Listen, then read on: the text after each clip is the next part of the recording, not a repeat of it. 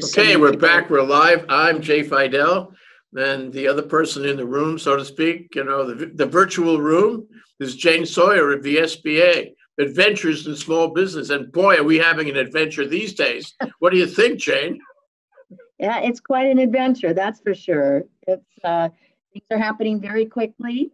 Um, lots of uncertainty, lots of surprises, um, but we're trying to make our way forward uh, and help more small businesses here. So that's Yeah. that's it. We're we're most of my staff is working remotely, like so many other businesses in Hawaii.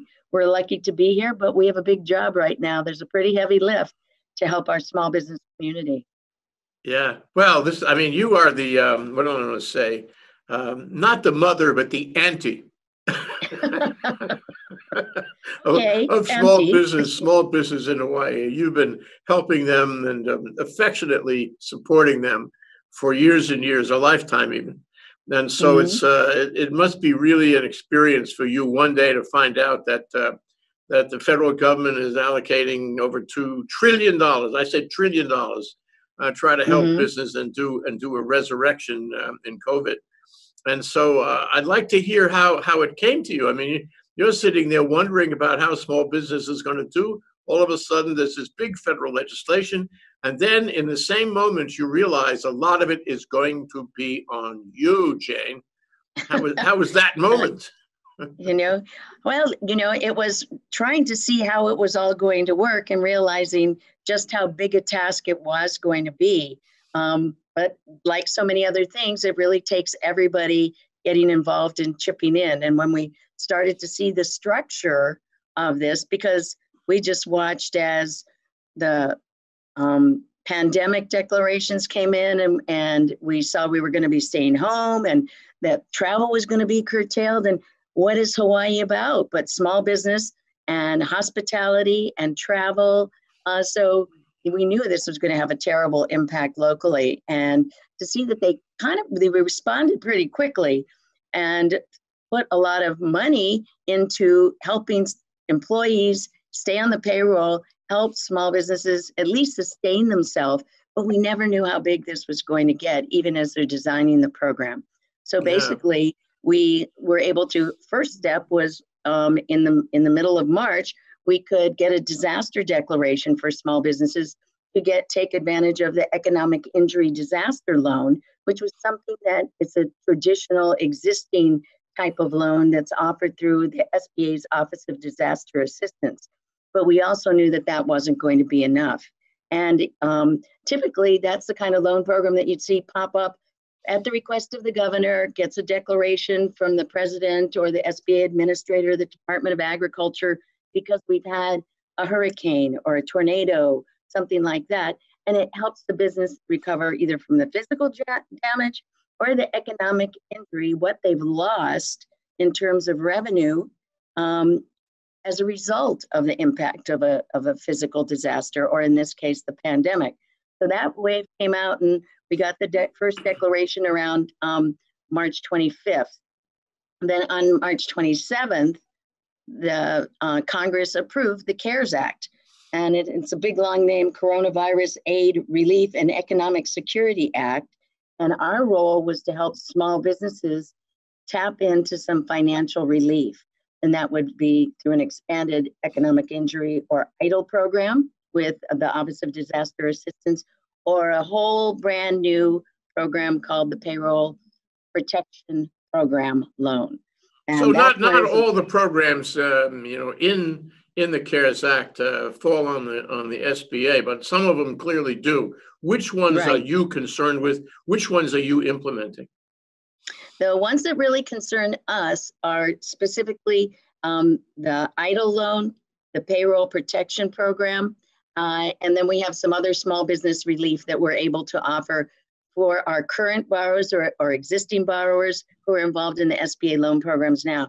If you've had an, a, current SBA 7A loan or a- an SBA 504 loan, you, starting this month, you can get some relief in making those payments. Actually, SBA will make your loan payment for you Wow. on any one of those loan programs, and they'll do that for six months. So they'll pay the bank the fees, they'll pay the, they'll pay for that loan uh, going forward. So we've gotten information out to our lenders and hopefully to our borrowers. It's pretty much, we just will, you know, the, the banks will determine all the loans. You have to be in currently in good standing when the, when it starts. So that means your loan has to be paid up. You can't have a workout plan. You can't be in default. But if you're in good standing, we'll cover those loan payments for six months. Oh, for that's terrific, any one of those loans. And we will defer disaster loan payments that are those long-term disaster loans with the low interest. Those Mhm. will be deferred for a six-month period. Don't have to make any That's helping a lot of businesses right there, so they can Yeah. keep their money working on payroll and rents and other things, so they don't have to pay back um, an SBA loan debt. So So what, that's one of the suppose I don't have an SBA loan. Suppose I don't have any loan. Suppose I've been able to conduct my business on a, you know, a non-indebtedness basis. Never had to make a loan. I'm, I'm a good Mhm. manager. No, no debt, Okay. whatever. Does that put me behind the eight ball as far as these programs are concerned? No, um, particularly because probably right now, most of the businesses may be shut down. You're experiencing some kind of loss because the regular customers aren't coming through the door. Um, employees can't come to the office. You're not considered an essential business. You know, your supply chain has been interrupted. So there are programs that will help you with that loss. Um, whether it is the economic injury disaster loan, which will cover you know, your overhead or your regular expenses that you aren't able to meet because of the pandemic. And that loan application you can find at sba.gov. Right now, because these programs have been in such demand, both programs are shut down, waiting more funding. We had $350 billion into the PPP fund, and that was exhausted in 12 days. 12 to 13 days across the country, those loans, all that money went away. Mhm. Um, and that loan program is specifically to help you keep a small business keep their employees on payroll for eight weeks at least. There's a portion of it that could be applied to, say, um, your mortgage interest, your rent, your overhead, utilities, things like that to keep your business running. But the majority of the money and the whole purpose is so that you can keep your employee on the payroll, getting their benefits, um, and not, you know, they may not even have to come into work, but the point is to keep them off unemployment and let the state, you know, not have that kind of pressure. But the small business can keep their employees so that hopefully when we're all back up and we can be out doing business again, we're ready to go. We're ready to start. So, and that one is open to, there's no collateral requirement there, no personal guarantees, no borrower or lender fees that are payable by the borrow, the, the SBA, because that's normally one of the things that goes with an SBA loan, and no payments on this loan for six months either. So this can be a new borrower, new SBA. Yeah, this one goes through the banks. So all of our, the banks and credit unions here have been participating in a big, big way. In that 12-day period for Hawaii, we saw them get 11,553 loans approved. So Uh, that's uh, a lot. Is this, do the banks require the applicant, I mean, I, I know it's like past tense already, but did the Uh-huh. banks require the applicant to be an existing customer or borrower? Or would, would uh, my business, the one that has never uh, taken any debt with anyone, uh, also qualify for that program?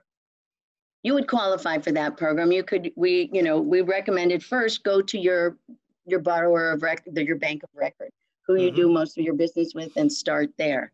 Um, sometimes people had gotten an offer or worked with, with another organization, say their PEO who manages their payroll, and they worked with them to submit a loan application to one of the financial institutions. So it may have introduced a new customer to the banks, and that Mhm. was fine too. Um, we knew that the money was going to be depleted pretty quickly. It sounds like a huge amount um, of 349 billion dollars, but it did it did go out pretty quickly. And uh, let's see, I'm trying to look at some of these statistics here. Over a million six hundred sixty-one thousand loans were made across the country in just 12 days. even in Hawaii, in, in the entire time I've been here as the tutu of the SBA, Jay, um, Tutu, thank we you. haven't made that many loans uh, uh, at all, you know, in the entire 28 years. So, and probably even the entire time the SBA has been here, we haven't seen that number of loans in Hawaii um, ever before. So now the challenge is getting the money out the door. So Yeah. we've, we've approved them. We've, we've, you know, managed to bring uh, over $2 billion to the state. And this will go when the, when the small business gets their funds, their, their role then is to make sure that they get their employees on payroll, if they can get them back into their um, roles in the business, fine. Or if they have different assignments, maybe different duties, that's important. And then the feature is that if that's what, how they use the money appropriately, there is forgiveness. So that may, that money will be forgiven and you won't even have to pay it back as a loan. What are the conditions for forgiveness? Conditions for forgiveness, uh, let me look it up. So the, um, get the right stuff. You have to bring the employees back and have the same number of employees on your payroll and you have to use, um, the proceeds, I mean, the, the amount of the loan is determined based on the payroll that you have in the business. And this program is open to, you know, independent contractors, sole proprietors. You can count your own income up to $100,000 um, when you make this loan request. And even though we've exhausted the funds, it looks like Congress is accepting the fact that there is a need out there because this pandemic has, has been so severe and it's extending so long. So we're looking at them potentially approving another allocation for this program even later this week. So we'll Oh, later this week. Later Yeah. this week. So um, if you're just hearing about this program for the first time and you haven't, you know, looked at an application, I recommend you go to sba.gov, look at the yellow banner at the top and click through to um, small business loan relief. And it will give you the information on the PPP program, uh, loan program, and uh, application forms, what you need to do to apply. It's very, very, very basic, but you do go through your bank. So you Oh, might, if you have a business banker, give your banker a call and ask them what, Mhm. how they're going to approach this next, this next wave of. Are, are- there bank charges on these loans? Are there loan fees or No, bank? This is all, SB, SBA is paying the fees to the bank. oh, very good, very good, very Yeah. So Jane, you, you expect the, you expect the, the second tranche of money to be in the order of the first tranche, two, two trillion plus? I, I don't be think it'll be that much. I think, you know, if, if we looked at what was for this specific program, it was about three hundred and, about three hundred forty-nine, three hundred forty-nine billion um, Mm. for the first wave. And the rumors have, the talk we're hearing is probably about two hundred and fifty billion. So it'll be a little bit smaller, um, but still to get out, get money out to small businesses, keep your employees, be ready to go when, when we get through this you know? Mhm. so we aren't we aren't looking at funding new things for a business. We're trying to help them sustain themselves through this keep their employees ready to go. I mean this is an opportunity if you if you can't use them for the typical work that they're doing it's the time to do professional development. Train up on customer service you know do some other things that need to be in, in the office scan all those old documents get those projects underway assign a team to redo your your employee manual you know um, Sure, have your have your people do a white paper on something that's important to you or even look at how can you volunteer some time for a community activity uh, and that would be okay important. too. It doesn't matter what they do. um, they just you It- have to it- get them on the payroll at the same rate of pay Yeah, or up to 75% of the same rate of pay. And the other thing is that you get them get them back on benefits because you factor your loan amount by figuring your payroll your annual payroll everybody up to every wages salaries uh, all types of compensation for each employee. Um, take that total. Um, you also then can add in other payroll costs so your healthcare expenses, the cost for health insurance for your employees, and your 501, um, you know, your retirement benefits, your all of these things can be factored in to what you and you figure your monthly allocation for payroll, then you multiply it by two and a half times.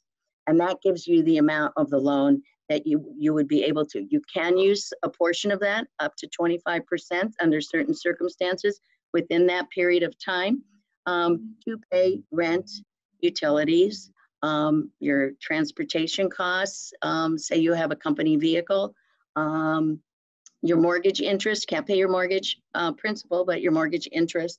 So it's going to help you with some of those fixed costs that you have just get through. It's Yeah, not going to So you it can know, help you um, with things other than straight compensation to an employee. You can, you can pay business fixed expenses with it. Yeah, you can pay some of those things, but the point, you, to get the forgiveness, you need to apply the majority of that, that seventy-five percent or more, and have the same number of employees at the same rate of pay on your payroll for eight weeks. And that Mhm. eight-week term usually starts once you get your funding, once you get your disbursement from the bank. Well, this sounds like the Oklahoma land rush, actually. So you have three fifty out there. Everybody knows you have whatever, the 350, 360 Mhm. billion. Um, and, um, a lot of employers, uh, small businesses are gonna wanna do that because they're really suffering. Um, so they, they rush at it. And you mentioned that out of the three sixty, um, uh, uh, two billion, uh, came to Hawaii. Uh, who, Yes. how how do how do how do you allocate the two billion around Hawaii? Um, is it first come first serve? There was first come, first serve getting into the queue. And um, as you said, you know, it's through the banks. So the banks do a little bit of screening. It's a, it's like a four page application, which kind of determines your eligibility. And nonprofits can also apply for this. So certain types of nonprofits who, particularly those who have a role in um, helping, you know, doing social services, running daycare facilities, providing meals for seniors, um, feeding families, um, those those organizations were also eligible to um, Okay, you know, well that's pretty that's participate. So pretty good. So now in mean, the next tranche of out there. money, the next Mhm. tranche of money, um, how, you know, there uh, obviously there are um, there are, there are businesses out there that didn't get as, as a result Yes. of the first the first bill. Um, Mhm. So the next the next tranche, hopefully soon, uh, will come down the pike. How will they know and how will they get online so that they can get a piece of the second tranche? mhm. they should go to their take a look on our website make sure you understand the program and feel that you'll be eligible then you should um, call your bank see if go to their website as well a lot of them have a lot of information and how to apply online because we're not going into the bank if we can avoid it right? So most of their most of the applications were taken remotely and um, the bank would be in touch with you. You could submit your application. I don't know if their portals are open right now. That may require a phone call or they may have something posted on their on their website in terms of when they will start accepting applications but the application forms are the same for everyone. Um, they may ask for a little bit more information but they explain all of that on their webpage and I would start to gather your information together, try and calculate the information. If you have, um, you know, questions about it, you can go and go to the SBA website. There are frequently asked questions posted there that will help you figure how to calculate um, your employee's payroll or call your PEO if you have one, talk to your CPA, talk to your, your tax preparer, look at your old tax documents. So, because those are all source materials that you'll get. You need to make sure you have ready your EIN number, your social security number, um, things like that. But uh, those, those are the kind of documents to start gathering now and have ready because it probably will go very, very quickly. I know many of the banks still have um, loans in queue uh, from the first round of applications that were submitted to the banks. They did phenomenal numbers. They were working through the weekends. They were doing double shifts, um, moved people from, you know, the, the So it branches. pays, it didn't pays really to start there. right now. It pays to start right now. It pays to Yes, get your act together so that when, when the land rush starts again, uh, could be Mm-hmm. in a few days, uh, you got your papers together. You know what the application form looks like. Maybe you filled it out. Maybe the bank Mhm. even let you submit it. Yeah. So, um, Yes. this is a good time to get, get organized, to look at the mhm, SBA.gov and go to your bank and, and find out how you can get on that line early instead of lose out. So uh, Mhm. one other question about the, the first tranche. You said it was two billion out of 360. That's not one fiftieth. Um, you know, we're 50 states. Uh, who makes Mhm. that allocation of that two billion?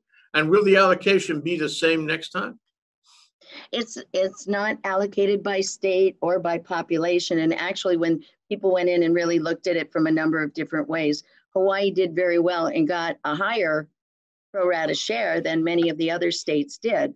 And I think that is, you know, a lot of hard work up front, our resource partners helping and talking to people, the banks really getting out in front of this as well. So, um, I mean, the average loan size was under $200,000. So even when we hear some of those stories about the organizations that may have grabbed 10 million, it, uh, it the, the statistics show that the largest proportion of the loans were under 150,000. Um, and the, av- the overall average loan size was $206,000.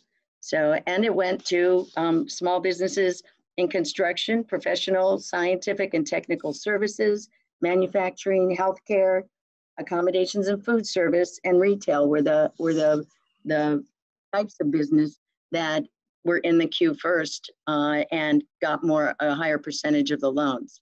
Mhm. So they hadn't really separated it out, and it was the diligence of the the lenders and the banks being able to input into this system. Uh, and we stood up this this loan with you know it goes against everything any banker has ever learned about finance and credit. We don't check credit.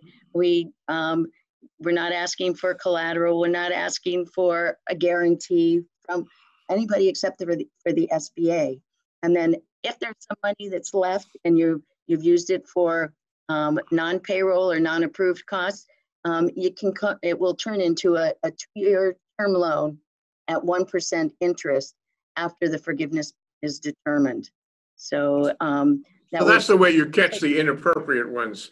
If they don't Mhm. demonstrate that they did, they meet, met, met those conditions, they will have to pay it back. And, you, you uh, pay it back. Mhm. yeah, yeah. And- and who- if you- who- And if you misrepresented to get credit and that becomes uh, apparent, um, that's a no-no and it won't be nice, you know, so they will.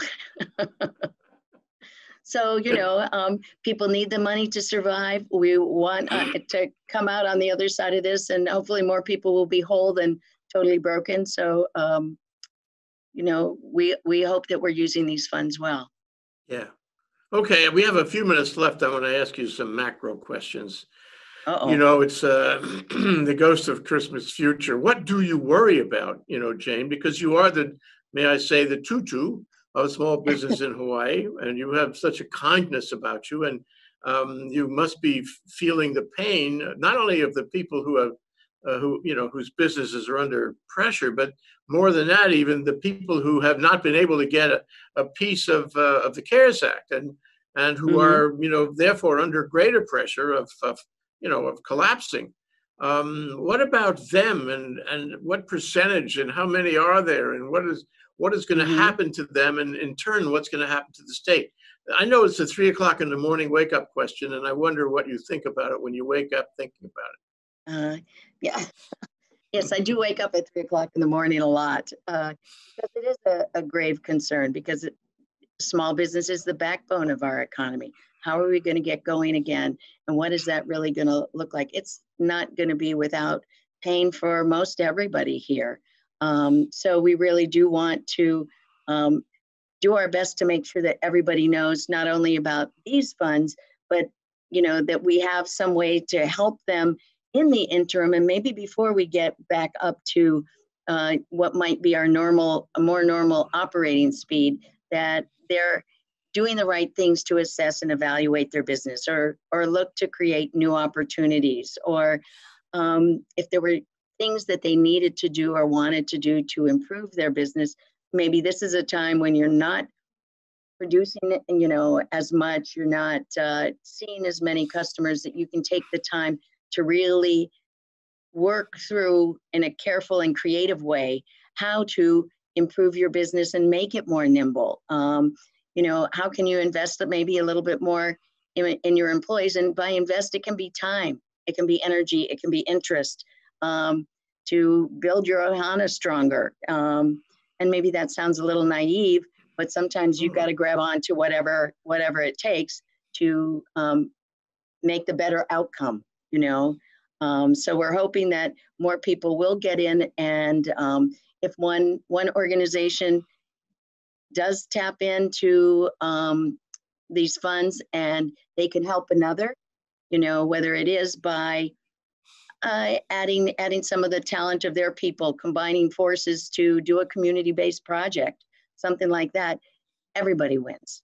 So, but I do worry about, you know, how are we going to get the technical assistance to people who need it? How do we uh, overcome some of our language barriers and some of our prejudice? How do we get, um, you know, more more money to more new businesses or younger businesses or those that don't typically have access to capital?